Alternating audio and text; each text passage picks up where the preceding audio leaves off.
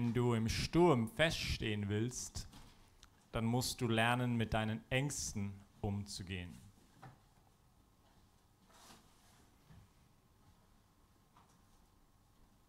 Dann musst du wissen, was zu fürchten ist und was nicht zu fürchten ist. You've got to manage your fears. Die Falschen konfrontieren und die richtigen Raum schenken. Wir machen hier gerade eine Predigtserie über Empowerment. Empowered Leben und andere befähigen ist eines der vier Kernwerte hier im Zentrum.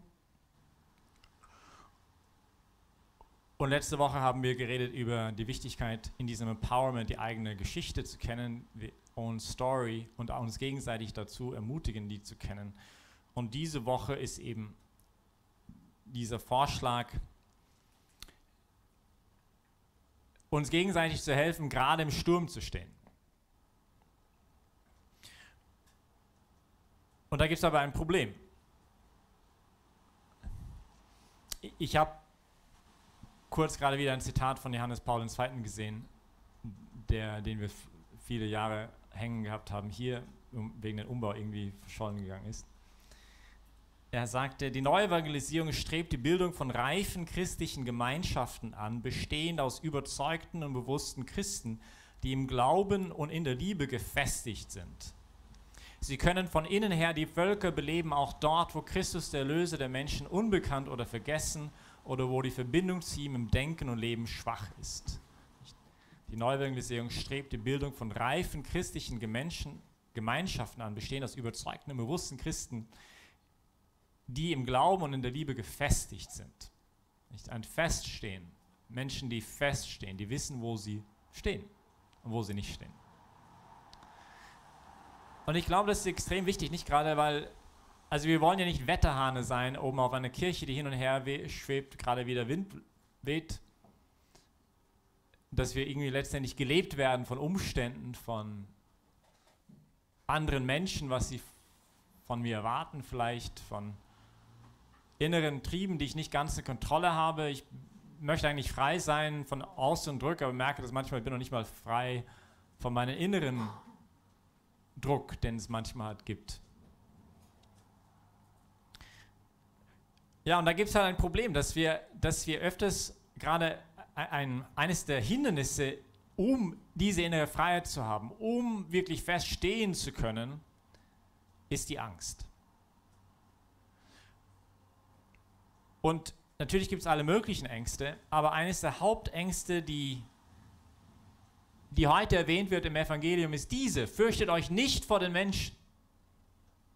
Also Jesus sagt, okay, es gibt vielleicht Dinge, er wird dann später auch gleich sagen, wovon wir uns fürchten sollen. Aber es sagt, fürchtet euch nicht vor den Menschen. Nicht eines der größten Schwierigkeiten, um wirklich festzustehen, zu sein, wer ich eigentlich bin, meine eigene Identität zu leben, ist die Menschenfurcht. Was werden die anderen sagen? irgendwie ein Sklave zu sein der Meinung von anderen, unter dem Blick der Menschen zu stehen. Und Jesus sagt, fürchtet euch nicht vor den Menschen. Jetzt ist das nicht nur ein Auftrag, das ist nicht nur eine Empfehlung, das ist nicht nur ein, okay, versucht das mal zu machen, um frei zu sein, sondern das ist frohe Botschaft. Jesus sagt zu den Blinden, sehe und er sieht. Er sagt zu den Taubstummen, diese Ohren sollen sich wieder öffnen und sie sind geöffnet. Er sagt, es sei Licht und es ist Licht. Und er sagt, fürchtet euch nicht vor den Menschen. Es ist nicht nur ein, ein Auftrag, sondern es ist ein, eine Verheißung. Dass wenn wir für uns, für ihn öffnen, dass er unsere Ängste auch nehmen wird. Dass er uns helfen wird, unsere Ängste zu überwinden. Dass wir, dass wir Leuchttürme sein können. Wie dieser Leuchtturm mitten von einem Sturm. Nicht der gerade stehen kann. Auch wenn die Wellen gegen uns schlagen. Diese Menschenfurcht hat zwei Aspekte. Die eine ist eher, das ist etwas, was wir, wenn jemand öfters auch unter der Woche mal in die Messe geht, in die Woche schon mal gehört haben, nicht? Wo Jesus den Pharisäern spricht über diesen Aspekt, man könnte es vielleicht nennen, die positive Aspekt, also nicht von positiven Sinn vom Gut, aber halt von ich, ich brauche die Anerkennung von anderen. Ich mache Dinge, um Anerkennung zu bekommen von anderen. Und das ist manchmal so schade, weil es halt nicht, wenn Jesus sagt, wenn in dieser Stelle früher diese Woche, wenn ihr zum Beispiel fastet oder betet oder Almosen gibt, nicht, dass die rechte Hand nicht weiß, was die linke tut, dass, dass dass ihr in euer Zimmer geht und die Tür zuschließt. Nicht euer Vater, der im Stillen sieht, der wird es euch vergelten. Also diese Idee, nicht wenn ihr auf der Straße von euch her posaunt, wie großartig ihr seid, dann seid, dann ist euch schon vergelten, vergolten. Nicht? Und er, er, er bezeichnet diese, diese positiv, oder positiven Sinn von, ich gehe auf die anderen zu, ich erwarte, dass ich jetzt Anerkennung bekomme von anderen und ich suche meine Identität in dem. Ich bin, was die anderen von mir halten, was die anderen von mir denken. Und das Problem damit ist halt, dass wir dann so eine Art Fassade ständig aufrecht halten mussten um uns selber herum, was ich aber nicht selber bin. Das projiziere ich nur nach außen, dass andere das von mir halten oder denken.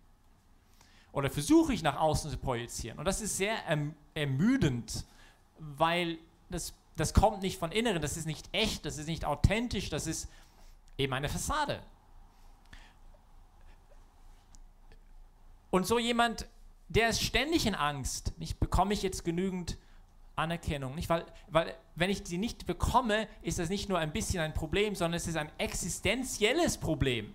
Ich bin nichts wert, wenn ich die Anerkennung nicht bekomme, weil ich suche meine Identität gerade in dieser Anerkennung.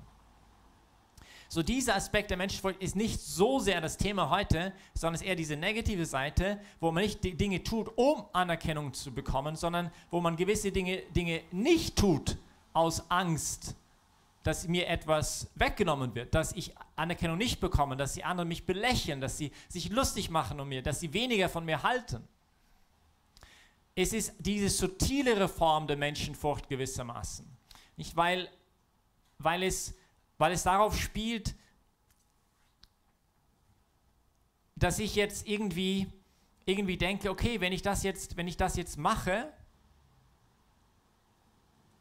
dann, dann irgendwie, dann bin ich jetzt weniger, also ich denke nicht, bin ich jetzt weniger wert, aber, aber, aber irgendwie habe ich halt Angst, dass ich da was innerlich verlieren werde. Nicht, dass ich meinen Halt irgendwie verliere.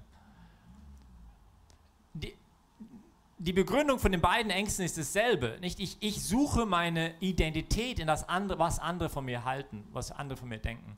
Es ist vielleicht subtiler, weil es geht hier um die Unterlassungssünde. Also die Dinge, die ich nicht tue und wo mein Herz aber sagt, schau, wenn du das jetzt tun würdest, dann würdest du außer diese Box raustreten, in der du dich gerade hineingequetscht hast durch die Meinung von anderen Menschen. Du könntest größer sein, als du eigentlich denkst, dass du bist. Du würdest nicht deine Grenzen so einschränken. Du würdest mehr erkennen können in der Tat, wer, wer du eigentlich bist vor Gott und deine eigene Größe. Aber hat panische Angst davon. Ich, man sagt manchmal, dass die Menschenfurcht ist die Guillotine der Heiligen. Also jemand, der, der wirklich eine bessere Vision seiner selbst sein könnte, nicht der, der, der andere inspirieren könnte, der durch sein Tun andere motivieren könnte, der jetzt Angst hat, das zu tun und deswegen es nicht tut und einfach in seiner, in seiner kleinen, kleinen Welt bleibt aber nicht hinausfährt auf, den, auf das Meer, der, der lieber die Pfütze hat als das Meer, das natürlich unbewusst ist. Nicht dort in der Pfütze, in meinem kleinen Swimmingpool, wo, meine, wo ich mit meinen Schweinchen auf unserer Ranch auch baden gehen kann, da, wenn ich, wenn ich habe ich das unter Kontrolle, aber das große Meer habe ich halt nicht in Kontrolle. Ich weiß jetzt nicht, was passieren wird, wenn ich mal nicht mit den anderen schlecht rede über diesen anderen Typen. Wenn ich mal sage in diesem Moment, hey Leute, wir sollten nicht so schlecht über andere Leute hinter deren Rücken noch dazu reden. Ich weiß nicht, ob ich jetzt in diesem Moment die Kraft haben werde, überhaupt diese Worte zu sagen. Ich weiß nicht, was jetzt die anderen Leute von mir halten werden. Ich weiß nicht, ob das letztendlich gut für mich sein wird. Ich habe Angst davor. Ich weiß in meinem tiefsten Innersten, dass ich, ich so, möchte Abbild der Liebe sein, weil das ist, was mich identifiziert als Christ. Aber ich habe Angst, das zu leben in diesem Moment. Ich habe Angst, das zu sein. Ich habe Angst, das zu, wirklich zu bezeugen. Und man bleibt dann halt in seiner kleinen Pfütze unterwegs. Also das Problem hier ist eben diese, diese meine Daseinsberechtigung hängt ab von Wohlwollen meines Gegenübers. In, in, in dieser Haltung. Und das ist echt problematisch. Nicht? Es führt oft zum Perfektionismus. Ich muss immer alles perfekt machen, alles muss perfekt sein. Und wenn ich das nicht mache, nochmal, dann ist das nicht ein kleines Problem, sondern es ist eine existenzielle Angst, dass ich bekomme, weil ich jetzt weniger wert bin in den Augen von anderen Menschen. Denke ich. Nicht, es führt zum Leistungsdenken. Ich bin nicht liebenswert, weil ich es nicht schaffe, den Lob alle auf mich zu ziehen. Ich denke gerade an jemanden, der lange verheiratet ist, nicht der, der ständig den, den gegenseitigen Partner, den anderen Ehepartner beschuldigt für alle die Fehler, die er hat. Ich selber habe keine Fehler. Aber ich bin so ein schlechter Mensch, weil ich es nicht schaffe, dass er mich liebt, wie ich es will. Ich mache ein Götze aus der Meinung von anderen Menschen. Und das bete ich an. Also Gott ist nicht dann mein Gott, sondern wer ich anbete durch die Menschenfurcht, ist, die, ist mein Nächster, ist der andere Mensch. Und das ist halt eben problematisch. Und dann sagt halt Jesus, okay, also fürchtet euch nicht vor die Menschen. Nochmal, es ist Vorbotschaft. Es ist nicht, Jesus macht uns keinen Vorwurf, sondern Jesus möchte uns befreien von dem. Nicht, er möchte, dass wir zu ihm kommen und dass er uns befreit von, von, von dieser Art von Angst. Fürchtet euch nicht vor denen, die den Leib töten, die Seele aber nicht töten können, sondern fürchtet euch vor dem, der Seele und Leib ins Verderben der Hölle stürzen kann. Und jetzt wird es ein bisschen problematischer, weil es scheint, dass Jesus sagt, okay, Fürchtet euch nicht. Nicht mehrmals heute ist es gekommen. Fürchtet euch nicht. Das Evangelium ist voll von fürchtet euch nicht. Aber auf einmal sagt er auch irgendwie, es gibt etwas, wovon wir uns fürchten sollen. Es scheint, dass Jesus irgendwie sagt, hey, es gibt good fear and bad fear. Es gibt eine Art von gute Angst, eine gute Furcht von etwas. Und es gibt etwas, das dich total paralysiert, das dich total nach unten zieht. Es gibt aber auch anscheinend irgendwie eine Art von Furcht, das dich erhebt, das dich dir hilft, deine eigene Identität besser zu leben und zu finden.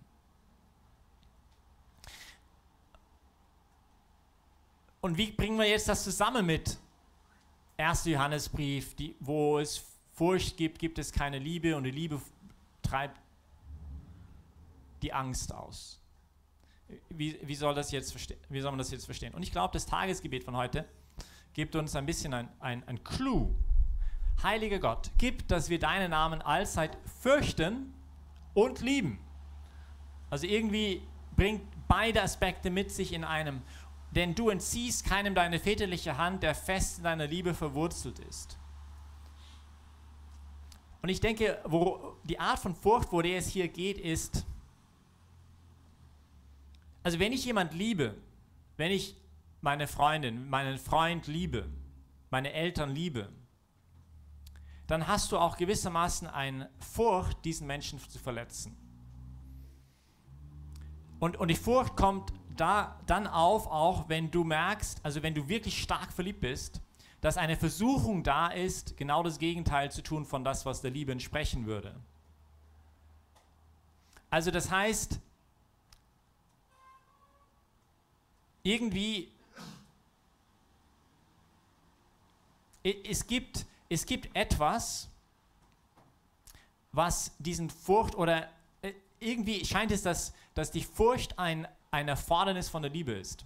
Und für mich die Parallele dazu ist mir vor einer Weile gekommen, während ja, ich mal in der Früh irgendwo unterwegs war, wo ich es gar nicht erwartet habe. Es kam mir so der Gedanke, und vielleicht könnt ihr das nachvollziehen, vielleicht macht es keinen Sinn, können wir nachher sagen. Aber für mich ist es so ähnlich wie mit dem Scham.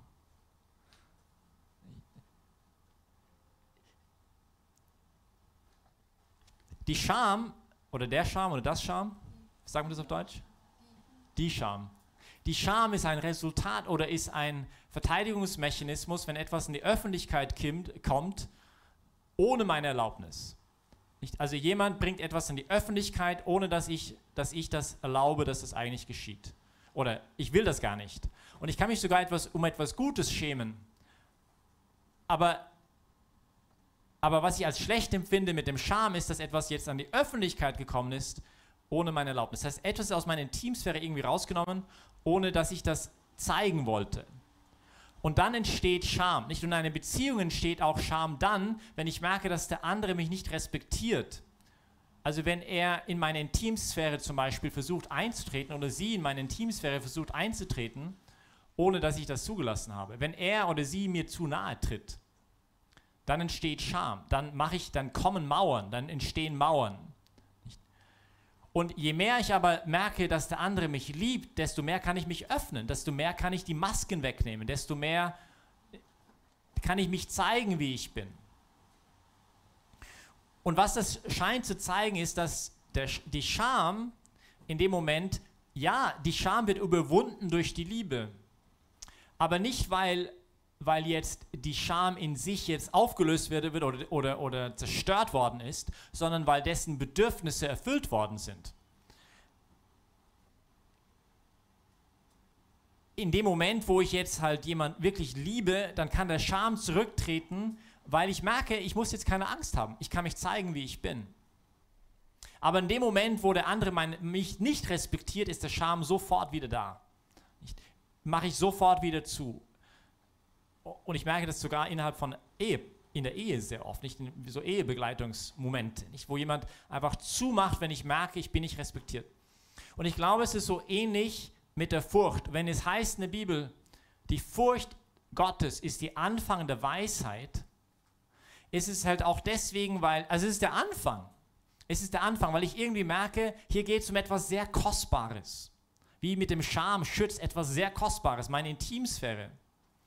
Und in dem Maß aber, dass ich liebe, kann die Furcht auch zurücktreten. Aber nicht, weil die Furcht jetzt zerstört wird, sondern weil das, was diesen Furcht verursacht, also diese Bedürfnis erfüllt worden ist. Weil ich merke, ich bin in einer echten Liebesbeziehung. Was ich damit sagen will, ist, wo diese Furcht nicht da ist, glaube ich, bleibt Liebe sehr oberflächlich, weil ich, weil ich es zu, ich, nehme es nicht ernst genug. Ich nehme den anderen nicht ernst genug. Ich, mir ist nicht bewusst, wie wichtig der andere ist und wie groß der andere ist und wie kostbar der andere ist.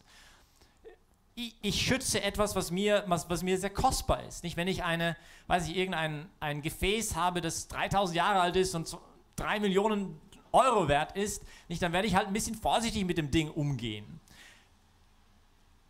Und das ist es so auch ein bisschen unsere Beziehung zu Gott, nicht dieses Bewusstsein, Gott ist nicht einfach ein Kumpel. Er ist mein bester Freund. Er ist derjenige, der mich wahnsinnig liebt. Aber, aber er, ist, er ist eben nicht nur Lamm, er ist auch Löwe. Er ist nicht nur Freund, er ist auch König. Und und das bewusst zu haben, mit wem wir da zu tun haben, macht meine Liebe für ihn nicht weniger, sondern eigentlich sollte es noch viel mehr machen, weil wow, er kümmert sich um mich. Wer bin ich denn überhaupt? Und, und die, die Furcht, das heißt, ist nicht schlecht in gewissen Fällen. Wenn ein in, bei uns in Kanada ein Grizzly auf dich mit voller Kanne zuläuft, dann ist es eine gute Reaktion der Furcht.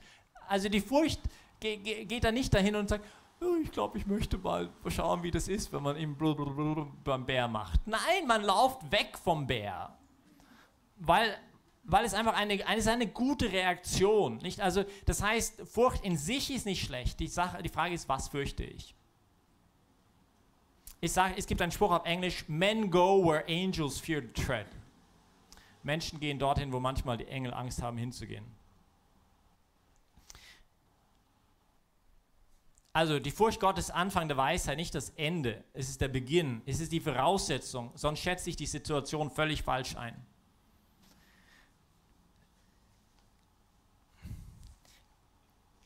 Und ich denke, ich kann nicht letztendlich auch verstehen, was Barmherzigkeit ist.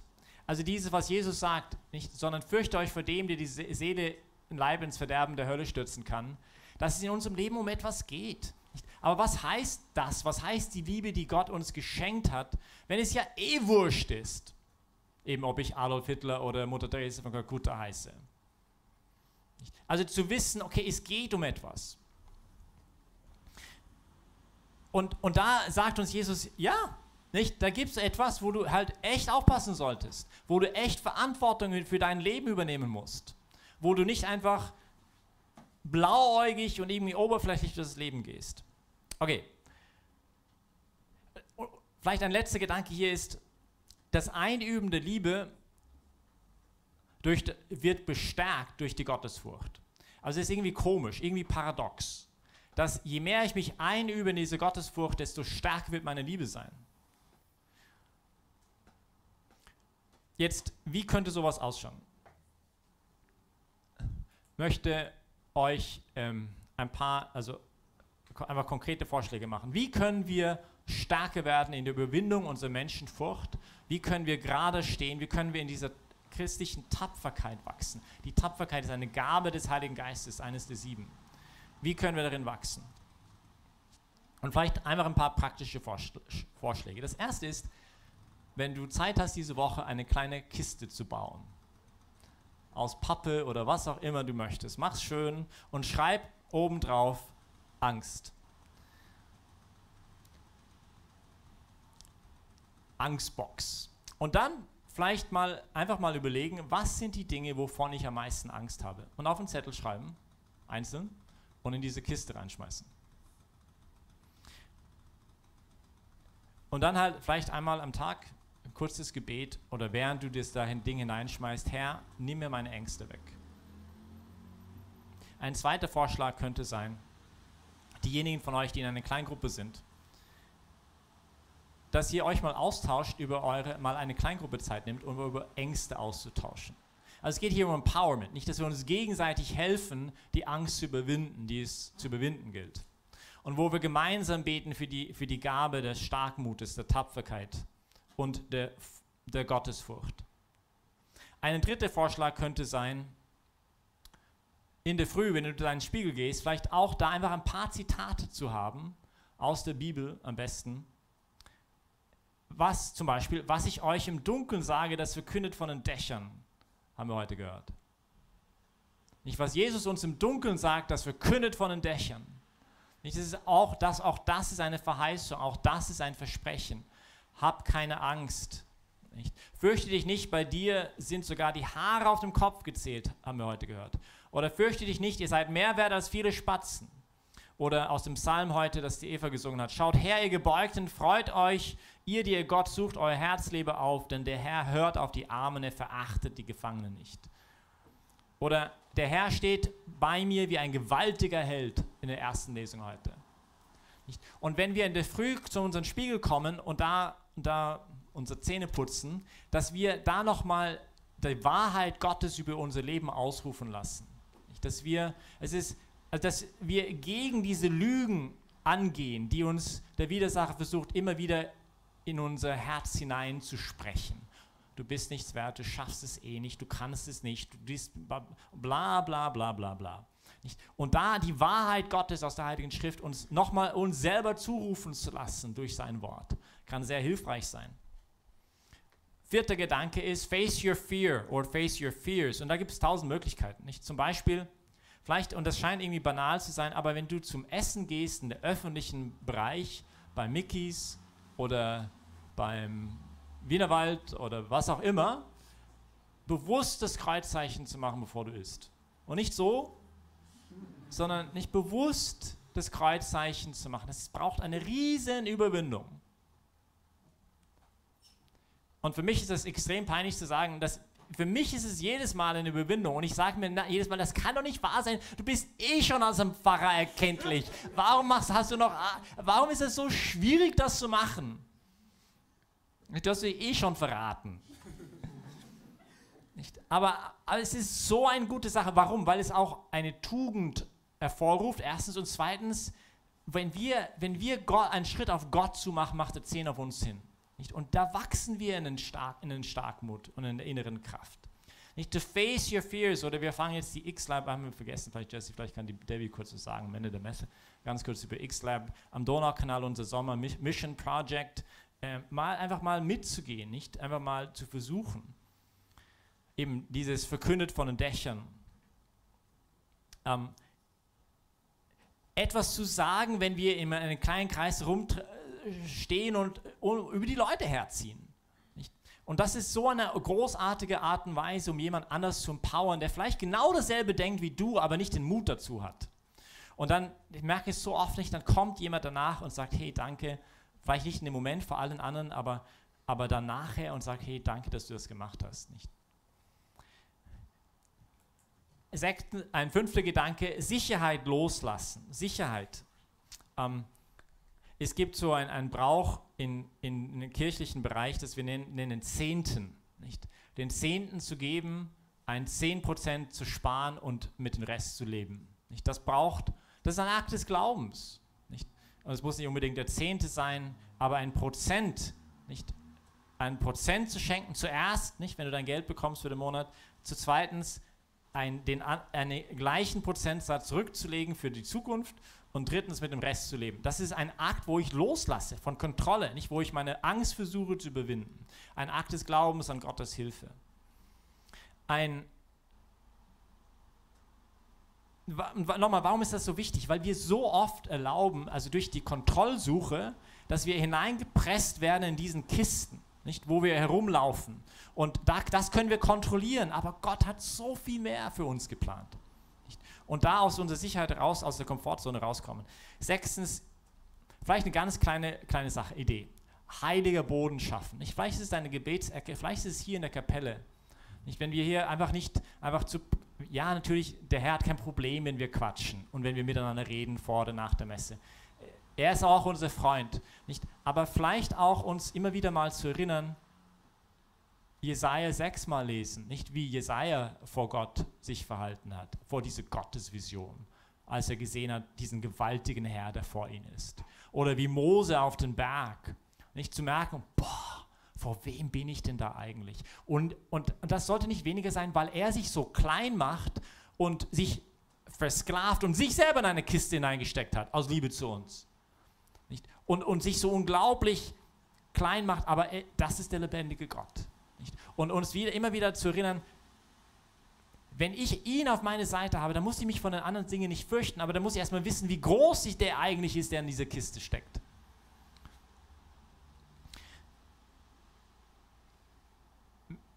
Meditation über, ja, vielleicht einfach mal eine Zeit zu nehmen, ähm, aber wir lassen das jetzt mal, weil es, wow, viel zu lang ist. Ähm, ein, ein, letzter Gedanke. Vision fünf Jahre. Wenn es, wenn es irgendwas gibt, wo du gerade merkst, dass es du eine, das ist vielleicht ein Extrembeispiel, ja. Aber wenn es jemand hier ist, der eine Sucht hat in irgendeinem Bereich und du merkst, da bin ich echt nicht gut unterwegs, da kann es ganz gut sein, mal niederzuschreiben, wo werde ich in fünf Jahren sein, wenn ich das weitermache. Wenn ich mich da einfach freien Lauf weitergehen lasse und das mal in all seinen Details mal runterschreibe auf Papier. Das ist so ein bisschen Schocktherapie. Nicht? Zu merken, wo, wo, was für eine Hölle werde ich hineinstecken, wenn ich da weitergehe und mi, mi, einfach da freien Lauf weiter, weitergehe. Was wird da passieren? Und dann aber als Teil 2, vielleicht nach diesen 15 Minuten, wo ich mir das gemacht habe, oder eine halbe Stunde, mal zu schreiben, wo könnte ich sein, wenn ich mich entscheide, diese Furcht und diese Ängste wirklich zu stellen? Wo könnte ich sein mit Gottes Hilfe? Nicht? Was ist möglich? Wir haben keine Ahnung, was für ein Potenzial in jedem von uns steckt. Gott kann Unglaubliches schaffen mit jedem von uns, wenn wir ihn lassen. Wo könnte ich sein in fünf Jahren? Und das auch mal niederzuschreiben, auf ein Stück Papier, ein bisschen zu träumen. Und nicht nach dem Maßstab von, was ich denke mit meinen normalen, nein, mit seiner Gnade, wo könnte ich sein in fünf Jahren? Ein bisschen größer denken als mein eigenes Ich. Also, also wenn du immer mehr das werden willst, was Gott sich gedacht hat, als er dich schuf, dann musst du wissen, was zu fürchten ist und was nicht. Und wenn es darum geht, deine eigene Identität zu finden und anderen zu helfen, dasselbe zu tun, dann musst du lernen, mutig deine Ängste entgegenzutreten. Amen.